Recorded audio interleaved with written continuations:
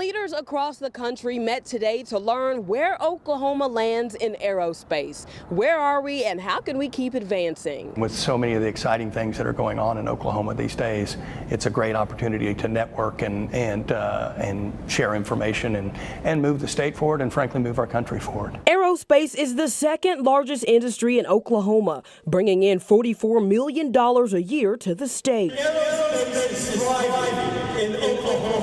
Wednesday's sixth annual Aerospace Forum advanced ongoing conversations about growing the industry. Some of the challenges, where we've been, where we're going, the, the new segments of the industry, and, and how can we all find a strategic connection amongst ourselves to move the needle forward and become our state's number one industry. Despite never hosting an actual launch to space, Oklahoma does own a spaceport in Burns Flat, which has the fourth largest runway in North America, currently used for training. I think they uh, are appropriated less than a million dollars a year, which the value of that is is keeping that training facility open for uh, for Altus Air Force Base in particular. State leaders say forums like today and collaborative efforts will help our state forward in our own space race. With all the new innovations and, and capabilities between uh, um, autonomous systems, electric vertical takeoff and landing, uh, commercial space, um, uh, and then